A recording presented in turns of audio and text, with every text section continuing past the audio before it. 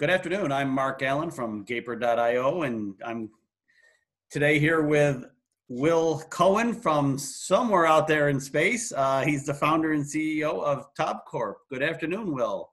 Good afternoon, Mark. How you doing? I'm great. I'm uh, I'm in space, so I'm I'm uh, far and away from from what's going on on Earth. Luckily, you're you're probably the safest person I know right now. so, so now, now that we get started, can you share a brief background of yourself and your work experience? Absolutely. Uh, my specialty has been for the last um, 14 years in retail marketing, specifically uh, digital. Um, I spent the last uh, eight years working for the uh, agency of record for Walmart.com as mm. well as eBay, and I was VP of mobile. Um, so uh, my job was to come up with new and innovative products for brands such as Walmart um, and, and advertisers um, that they can sponsor and um, create interactivity on the Walmart platform. So uh, that was um, a role that I was at for about seven and a half years. And then I later uh, went on to uh, a similar role at a company, Playwire Media, uh, where I was uh, working with retailers, but more in the gaming and entertainment space. Hmm. So that was uh, pretty much all I know is, is the retail digital world. Very cool. Yeah, very, and as you know, very popular out here in the Bay Area. Yes, very much. Yeah. So, uh, what has been your experience with remote employment, both as a remote employee and a remote employer? Well, um, and I know I'm sure we'll get into it. Everything's uh, definitely taken that approach now. Um, but I was uh, remote for quite some time uh, with our startup.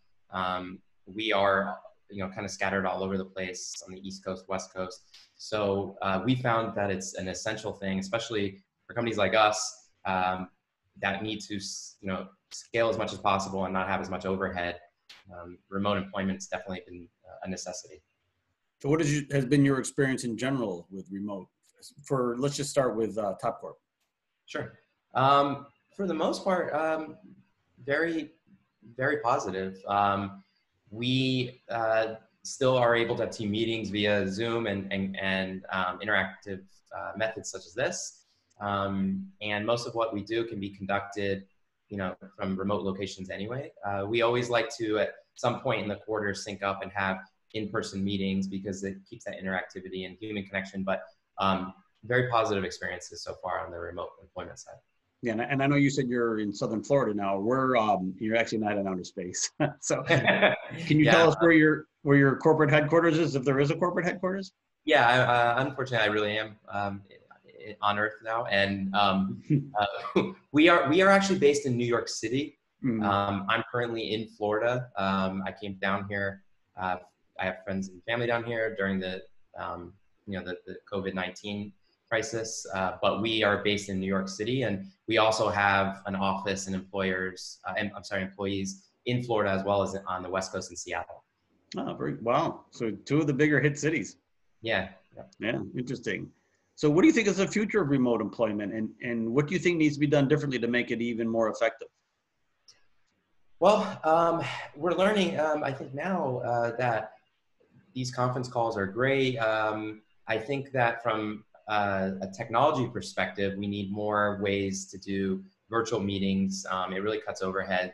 Travel costs obviously are, are very burdensome, burdensome, burdensome to uh, yeah a lot of our uh, fellow startups and, and smaller businesses. But um, from a, a, company perspective, I think we need to um, invest more in software and uh, things like that that can kind of um, you know enable us to connect better with each other across across the globe really because it really is an international world and we don't need to travel anywhere to work with each other yeah and I, i'm hearing that more and more from different people is uh, I, I don't know if that's good for the airline industry i think people are going to take more vacations or since you can work from home you might say hey i think i'll go to san diego and work this week absolutely um, i mean it's it's much more efficient to be honest uh, a lot of we're learning this now but a lot of the meetings that we thought had it uh, take place in person could be done remotely and uh, via virtual. So uh, I think it, it definitely helps with efficiencies.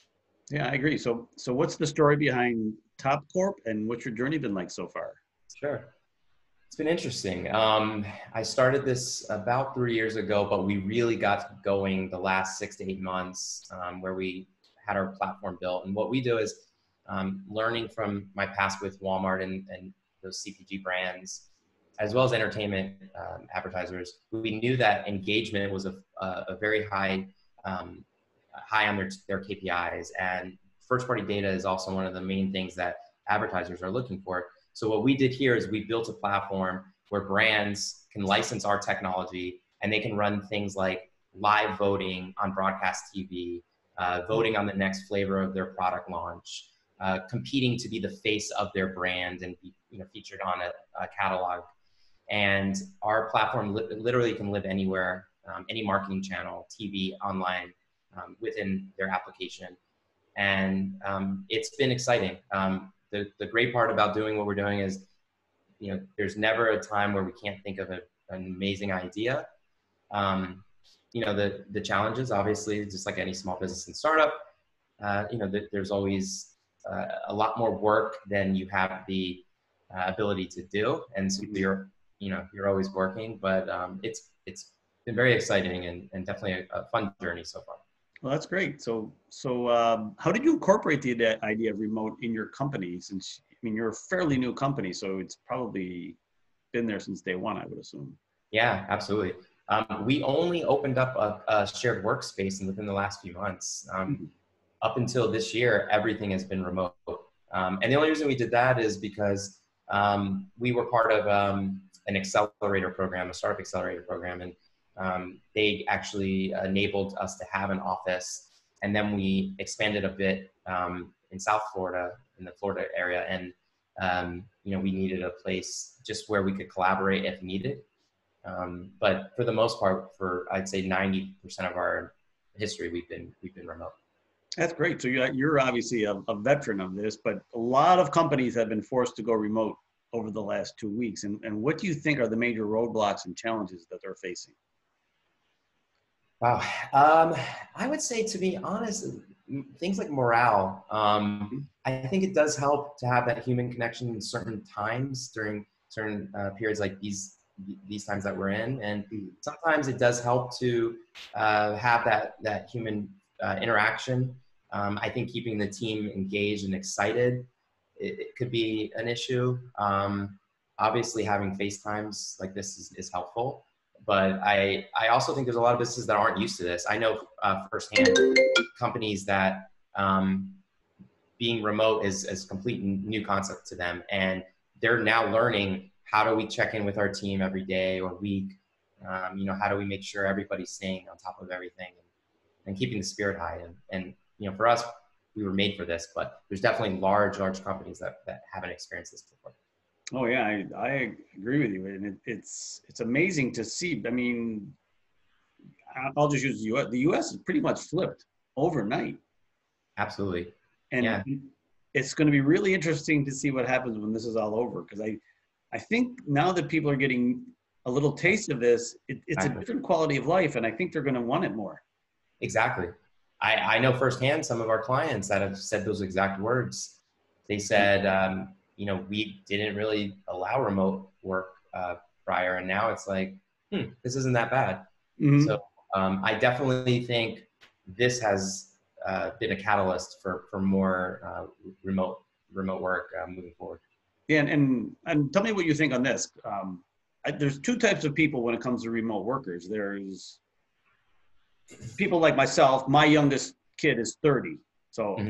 I have no children at home, so it's easy for me to work from home. But then there's this, if you have a kid under five, it's really hard. Mm-hmm. If you mm-hmm. have a teen, starting when they get to be about teenagers, I think it gets a little bit easier because I don't want to deal with you anyway. So do you think it? Do you think it's going to come down to the, you know, the groups that want to work from home, the groups that don't? Yeah, and um, it's a funny scenario because I, I know people in that situation where they were, you know, forced into remote work um, and you know, there's there's people that have young children at home. Mm-hmm. Um, it's a little tougher for them. Uh, I, I think that moving forward, once things get a little bit um, mm-hmm. more figured out, it won't be as as uh, cumbersome as it might be right now. But but but yeah, I, I, do I see that some people might be forced into this because you know companies are going to say, "Wow, you know, we cut costs X percent now by not having this overhead." Um, but I think it will it will just like anything adapt and Yeah, you know, figure it out. I think yeah, I think people when forced generally adapt. Absolutely. So, so there's companies like Gaper that help develop, build, and scale products, especially for startups. How important do you think this is going to be going forward, especially for a startup like yourself? That I'm assuming you need to hire quality people because of what you do with Absolutely. certain skill sets and quickly. Absolutely. Um, tremendous help. Um, those types of uh, companies, like such as Gaper, are the companies that we depend on um, as a as a small business, as a startup, um, to help us scale, to keep us with as low overhead as possible. Mhm. Um, and I, I absolutely think those are one of the necessities of, of you know keep keeping this going.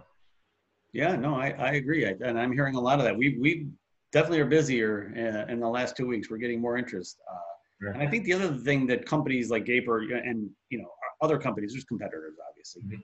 that we bring is we have the experience um, in what it takes to build a remote team. And, and I mean, you obviously do too, since you've done it. I think that's the bigger gap right now, right? It's like, how do you, how do you go from, I haven't done anything, like all of a sudden now I've got this group over here Exactly. Overnight. that I have no idea. I mean, do I work their hours? Do they work my hours? Or how do we do communication? All that stuff. And and there's a lot of stuff that's already in place for that. So Absolutely. Yeah. Yeah, I, I see this, you know, once once things kind of come down a bit as more of a gradual process. mm, Uh, I al- I also dealt with companies that do it in shifts where um, incrementally they'll have certain employees, you know, gradually work from home, uh, work remotely, and then um, they, they toggle and, and, and rotate in that sense. Um, like you said, this has been extenuating circumstances where everybody just completely does a 180 overnight and goes Mm. from brick and mortar to, you know, remote. So- yeah, I actually think when it's all said and you know, the first day, everyone's gonna be glad to get into the office. Yeah. Um, that next Tuesday, it's like, yeah. I, I, I, really have to come in today. I think uh, that maybe the very first time you get to see people again, you know, in, in person, will be a breath of fresh air. But uh, you know, there's always those those those adages of people, you know, loving to work from home, and Yeah. I'm sure we'll go back to that eventually. Yeah, like I said, on that too, it's like, oh, I gotta deal with that traffic. yeah, absolutely. It, it- that's another another uh, positive. You, you there's no traffic where we're at, so right. Same here. It's just amazing in San Francisco. Right. I just wish there was something I could go to because there's no traffic. Exactly. Unfortunately, yeah, not not at this time, but but uh, I'm I'm you know confident that you know think, things will you know eventually when they come down, um, companies are going to figure out how does this work for them uh, moving forward, and um, you know start creating more uh, you know guidelines and and opportunities for remote employment. Yeah, I agree. So, well, Will, thank you very much. This has been great. Great talking to you today. Um, I wish Top Corp all the luck in the world, and uh, hopefully you, you get back home to New York soon. Thank you. I uh, will take my spaceship when I'm ready. Okay, thanks. Have a good night. Thank you.